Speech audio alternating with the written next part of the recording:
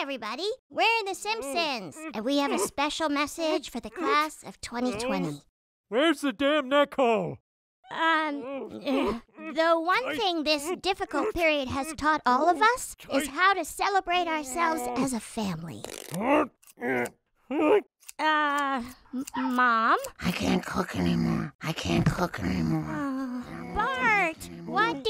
do you to say to the class of 2020? I don't know what to do. Oh, that's One typical. neck at can't cook I guess it's up to me. Do you want eggs?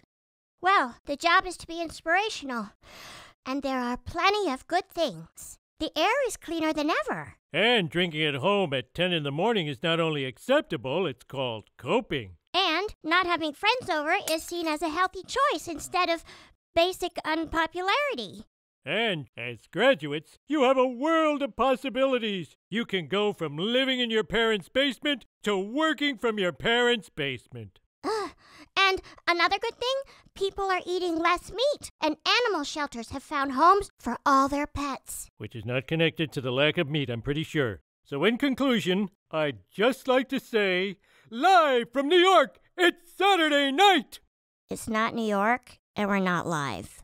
Well, it's fun to say, but our message to you in these times love your neighbor, even if it's Flanders.